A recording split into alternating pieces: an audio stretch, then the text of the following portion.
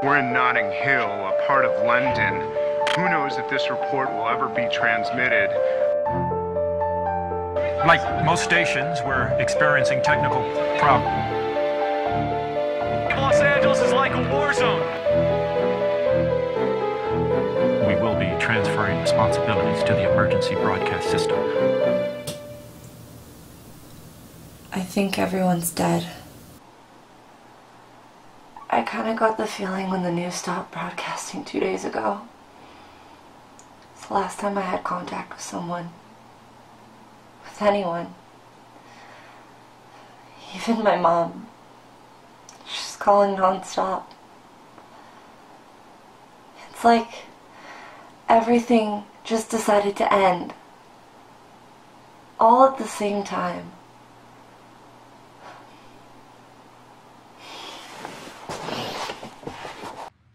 Scope of this epidemic is now reaching global proportions. All the wailing sirens, the news updates, they all just stopped. And then everything went quiet. Before the news did cut off, they said something about how scientists claimed that the virus was some mutated form of the bird flu. Or something. It started off with one. And there were two. And thirty. And more. And then they stated that it could be airborne. They didn't say it was.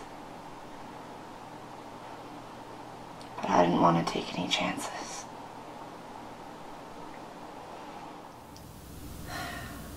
I've seen a way, way too many movies, documentaries about viral outbreaks.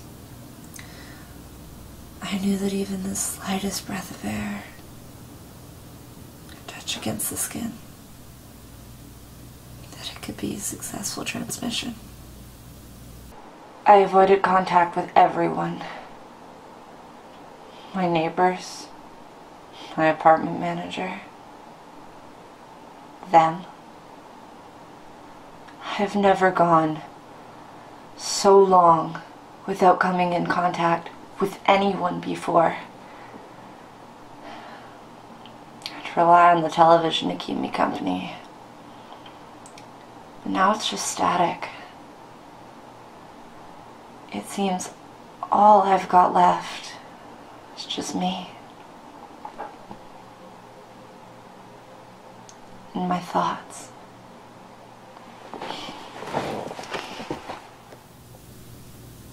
The thought of living in a world where everyone around me is dead gets me thinking. Sometimes I think that throwing myself over the edge of my balcony will solve everything. But then I remember that if the fall doesn't kill me, they will. It's getting colder. Power's probably gonna go out soon at these apartments, which means the heat's gonna stop. This place will become one giant freezer. Trash is starting to stink up the place. Could probably catch some other disease if I stay here too long. Food's getting low. Temperatures are getting colder. I'll have to get out of here sooner or later. Sooner or later.